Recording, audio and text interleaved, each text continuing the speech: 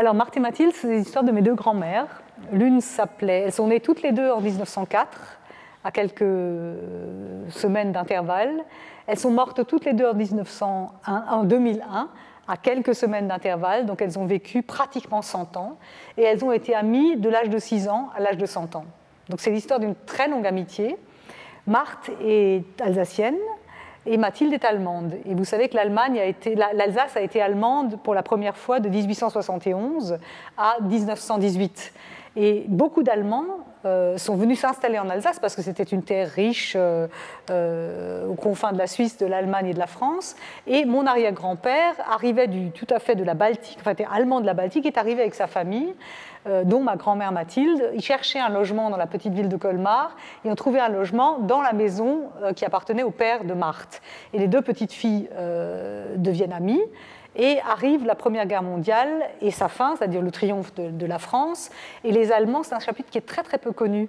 Euh, en, France et en Allemagne, les Allemands sont expulsés en 1918 de façon extrêmement violente d'Alsace. Ils, euh, ils peuvent emmener 30 kilos de bagages et ils ont trois jours pour quitter la ville. Et mon, mon arrière-grand-père euh, allemand et sa fille peuvent rester euh, parce que la, mère est belge, donc on leur accorde, ils ont le droit de rester en Alsace, mais mon arrière-grand-père perd son travail, ma grand-mère est traitée de boche, elle est obligée de quitter le... C'est une femme très intelligente, une jeune fille très intelligente, elle est obligée de quitter le lycée. Et ils vivent dans un dénuement et dans une, pas une misère, mais un très grand dénuement, cloîtrés dans leur appartement en ayant peur de sortir. Et euh, la seule famille qui ne laisse pas tomber la famille de Mathilde, la famille allemande, c'est la famille de Marthe. Et donc cette amitié euh, euh, converge de nouveau après, enfin, continue après la Première Guerre mondiale. Et je passe, et ensuite il y a la Deuxième Guerre, et après, les, enfants de Marthe et Mathilde, le fils de Marthe, mon père, va rencontrer la fille de Mathilde, ma mère, et ils vont se marier. Et à partir de là, évidemment, l'amitié devient, elle devient inséparable, surtout une fois que les enfants arrivent. Et à travers l'histoire de cette vie, c'est l'histoire de l'Alsace. Mes grands-mères ont changé quatre fois de nationalité. Elles sont nées allemandes, ensuite elles sont devenues françaises, ensuite brutalement allemandes de nouveau en 1940, et ensuite françaises en 1945. Et c'est une histoire que, c'est drôle, mais que, j'ai découverte très tard. J'avais plus de 40 ans quand j'ai découvert l'histoire de, ma région. Euh, alors, l'histoire du livre, je l'ai écrit en français, mais il est d'abord paru en Allemagne.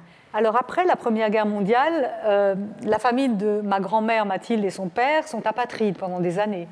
Et ma grand-mère ne devient française qu'en épousant mon grand-père alsacien. Euh, la mère de mon grand-père, quand il lui présente sa fiancée, dit J'aurais préféré la même chose, pas la même femme, la même chose, en française et en catholique. Parce que non seulement elle était allemande, ce qui entre les deux guerres était épouvantable, mais en plus elle était protestante, ce qui à l'époque jouait, euh, enfin, euh, était quelque chose dans une famille très catholique d'épouvantable. Hein, c'était, euh, et le grand-père, le père de ma grand-mère, j'ai retrouvé son dossier de naturalisation aux archives nationales, et vraiment, il mendie la nationalité française pendant des années et des années, on lui refuse.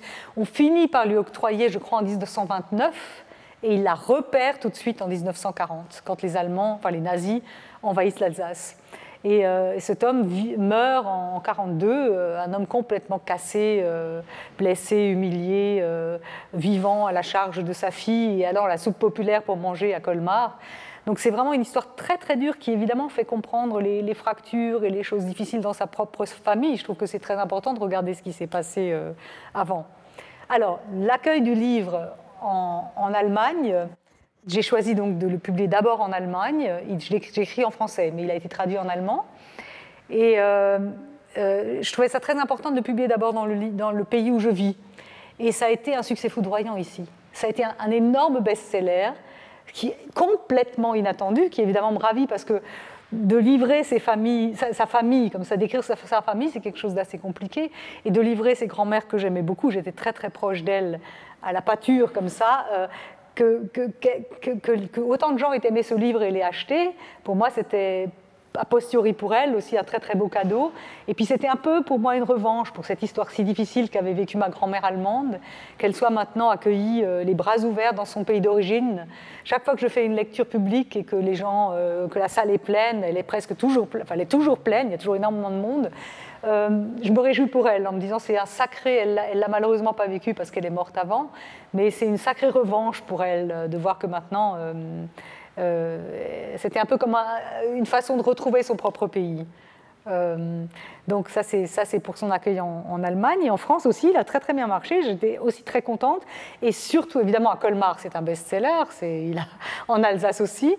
Et ce qui me fait plaisir quand je vais faire des présentations en France, c'est que les gens, les Alsaciens surtout viennent me voir et me disent grâce à vous j'ai compris l'histoire de ma région. Et moi aussi, grâce à l'écriture de ce livre, j'ai compris l'histoire de l'Alsace que je connaissais très peu. Parce que quand vous allez à l'école en France, en Alsace, c'est un peu comme euh, nos ancêtres les Gaulois quand on est alsacien. On vous apprend l'histoire de France. On m'a par exemple jamais appris quand on étudiait la guerre de 14 que euh, mon grand-père alsacien, Joseph, a évidemment fait la guerre en uniforme allemand. Et au lieu de demander aux élèves, euh, bah, allez demander à vos grands-pères comment, comment, comment, ils ont fait, comment, comment ça s'est passé après quand ils sont revenus, comment ils sentent par rapport à ça. Non, on nous a appris que tous les grands-pères étaient des poilus et euh, je crois que j'ai écrit des livres comme ça parce que je trouve le système de l'éducation nationale tellement terrible. J'ai eu de si mauvais profs d'histoire qui n'ont absolument pas su éveiller ça. Je veux dire, pour un, jeune de 16 ans, aller interviewer le grand-père, c'est autrement plus intéressant que d'apprendre des dates par cœur, ce qui était encore le cas pour ma génération. Euh, et, donc, grâce à ce livre, j'ai découvert l'histoire de ma région et, la, la, difficile schizophrénie des Alsaciens qui sont partagés entre l'Allemagne et la France. Et j'en suis un exemple vivant, je crois. Eu, eu